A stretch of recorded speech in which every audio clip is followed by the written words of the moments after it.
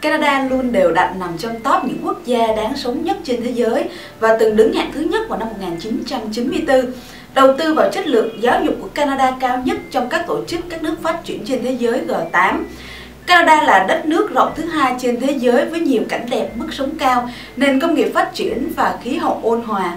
Tuy nhiên, Canada lại nằm trong bảng xếp hạng những nước khó xin visa nhất trên thế giới. Chứng minh tài chính để có thể du học tại Canada luôn ngặt nghèo và yêu cầu tính xác thực cao. Thấu hiểu điều đó, để khuyến khích và tạo điều kiện thuận lợi dễ dàng hơn cho các học sinh cho việc chứng minh tài chính, chính phủ Canada cùng với tổ chức các trường cao đẳng và học viện tại Canada đã thông qua chương trình Canada Express Study. Đây là chương trình du học Canada không cần chứng minh tài chính diện visa ưu tiên. Tuy nhiên, chỉ có 36 trường tại Canada được tham gia chương trình này, nghĩa là những sinh viên khi nộp hồ sơ theo học tại danh sách 36 trường này sẽ không cần phải chứng minh tài chính. Để tìm hiểu kỹ hơn về chương trình CS, điều kiện áp dụng ra sao, tiến trình làm hồ sơ như thế nào để được rút ngắn, hãy tham gia ngay tuần tham vấn cùng với trường Fleming College. Đây là trường nằm trong danh sách 36 trường được ưu tiên xin visa du học Canada không cần chứng minh tài chính. Tuần tham vấn du học Canada không cần chứng minh tài chính của trường Fleming College Thời gian các buổi sáng từ 9 giờ cho tới 11 giờ, các buổi chiều từ 15 giờ cho tới 17 giờ, từ thứ hai đến thứ sáu từ ngày 18 tháng 7 đến ngày 22 tháng 7 năm 2016.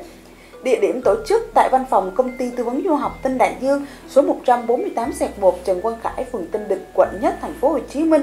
Các bạn có thể liên lạc số điện thoại 38484879 38382080 để đăng ký tham dự tuần lễ tham vấn. Thì giới thiệu đôi nét về trường Fleming College Fleming College là trường cao đẳng công lập được thành lập vào năm 1967.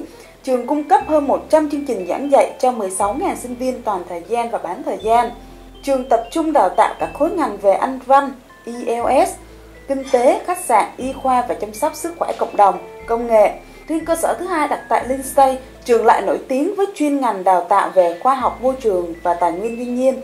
Nhìn chung hai thành phố Peterborough và Hinsay đều sôi động và đầy đủ cơ sở hạ tầng tiện nghi hiện đại tọa lạc trong không gian ngập tràn sắc xanh và chỉ cách Toronto đúng 1,5 giờ di chuyển. Fleming College mang đến cho sinh viên quốc tế sự hỗ trợ đặc biệt nhằm giúp các bạn sớm thích nghi với môi trường sống và học tập tại Canada.